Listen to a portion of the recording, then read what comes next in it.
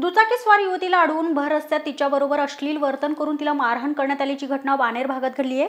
या प्रकरणी चतुर्शृंगी पोलिसांकडून दोघांना अटक करण्यात आली आहे. पोलिसांनी दिलेल्या माहितीनुसार तक्रारदार युवती एका इंग्रजी माध्यमाच्या शाळेत शिक्षिका आहे. शनिवारी रात्री युवती मित्रांबरोबर बाणेर भागातील एका हॉटेलमध्ये गेली होती. मध्यरात्री अडीचच्या सुमारास दुचाकीस्वार युवती बानेर भागातून जात होती. त्यावेळी बानेर येथील दूरध्वनी केंद्राजवळ दुचाकीस्वार युवतीला दुचाकीवरून आलेले आरोपी धनकुडे आणि कळमकर यांनी अडवले. दोघांनी तिच्याबरोबर अश्लील कृत्य करण्याचा प्रयत्न केला.